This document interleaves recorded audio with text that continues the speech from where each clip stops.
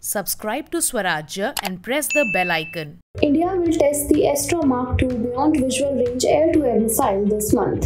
The first live launch of the missile will be conducted from a Su 30 MKI fighter. The 100 km range Astra Mark I will also be tested this month with an indigenous seeker instead of the existing Russian AGAT.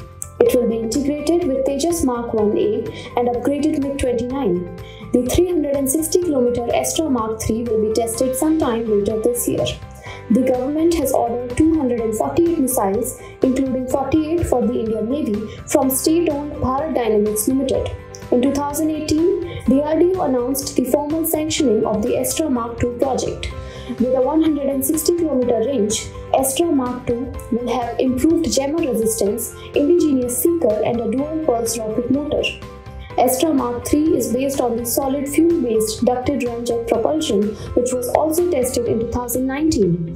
India is developing the Astra series to replace the expensive Russian, French, and Israeli origin beyond visual range missiles.